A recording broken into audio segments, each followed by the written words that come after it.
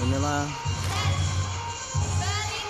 seleksi jaga Garuda di SD Islam Cikal Harapan Alhamdulillah di tahun awal tahun pelajaran 2018-2019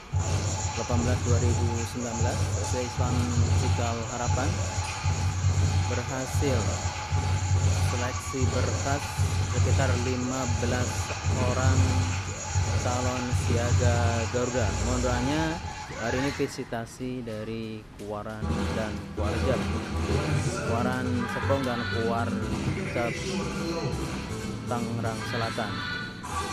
Semoga dari 15 orang ini mampu menjadi siaga Garuda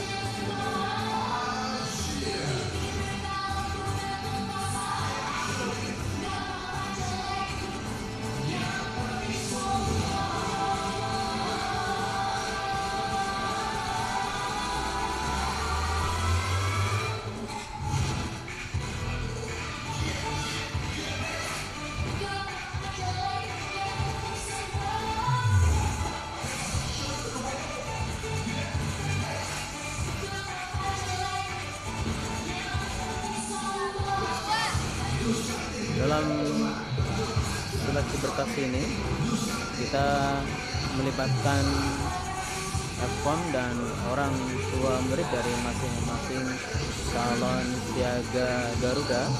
Karena memang langsung akan di cross check apakah memang berkas yang disagukan benar-benar sesuai yang dilakukan anak atau memang uh, mengada-ngada. Ini bukti validan dan bukti otentikan dari seleksi berkas Garuda